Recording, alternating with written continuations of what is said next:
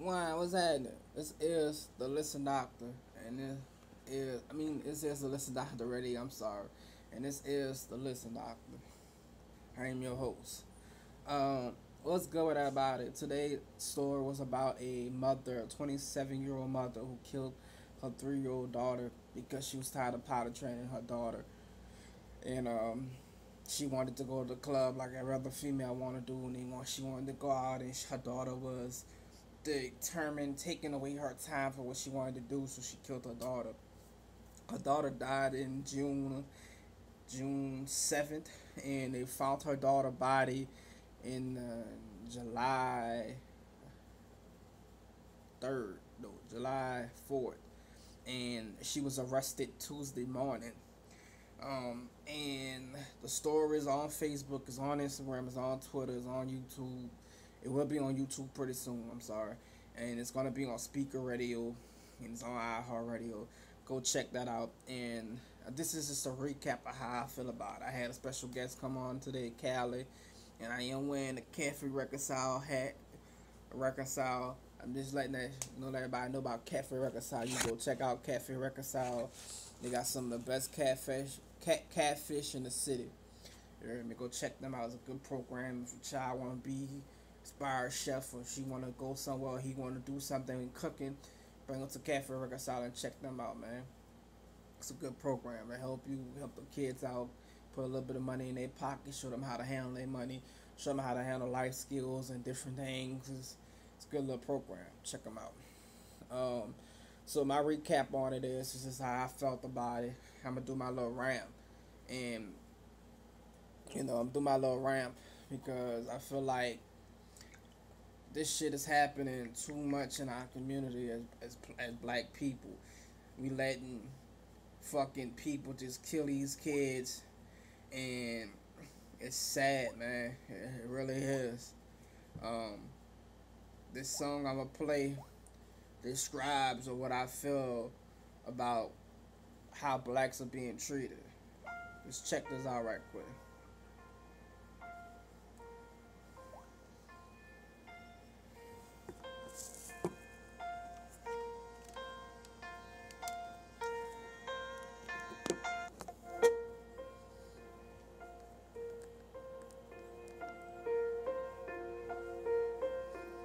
Check the song out right quick.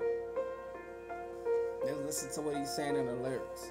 One, two. Fuck the beat. This is the lyric.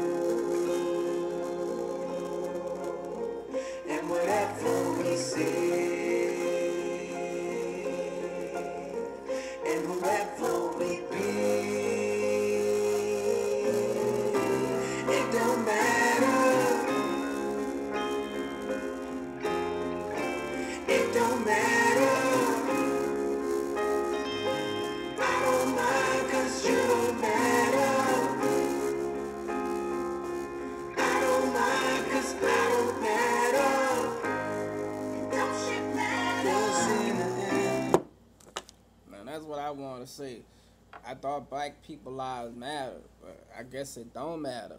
Because we let this shit happen too far often in our community. We let black young girls have kids early in their teens, 16, 17, 15. No, they can't take care of them. People have to, they need, then what's, what's funny about that, you having a child because you want a child to make you feel loved. You want a child to make you feel like you did something in life. But that child is not gonna be your responsibility. Cause what you still gonna be doing, cause you still a teenager, you still gotta go to school, you still gotta graduate, you still gotta get a job just to provide for that child. Then that responsibility gonna go on your your mama, your parent. That responsibility gonna go on the state, cause they gonna have to be on fucking welfare. You're gonna be on Section Eight. You're gonna be on different programs. So it's not your responsibility. It's gonna be the taxpayer, people who work in the state, they responsibility to take care of your child, even though you open up your legs. Stop opening up your legs. If you're gonna fuck, use protection, people. People don't understand. If you're gonna fuck, use protection. Stop fucking unprotected and or um, if I get a baby, I get one. Or stop planning to have a baby knowing you can't take care of it. Your mama might be struggling to try to make you get out of her house. Your mom might be working all these years and taking care of you and your other siblings, and then you go fuck around and have another child, and you have a child on her, and then she like, why the fuck you had a child? And you, I'm, t- I'm trying to take care of you. I'm trying to get you out of my house. Now I got another fucking person to, to provide for. So stop doing that, people. And that song is just saying, Black Lives Matter. If Black Lives Matter, why are we not taking care of it? Why are we not taking care of our own? If Black Lives Matter, why are we not taking care of each other?